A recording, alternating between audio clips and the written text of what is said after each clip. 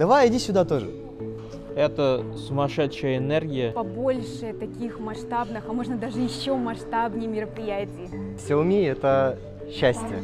Ну, это дружная семья, не комьюнити. Пять с пятью плюсами. Давайте повторим.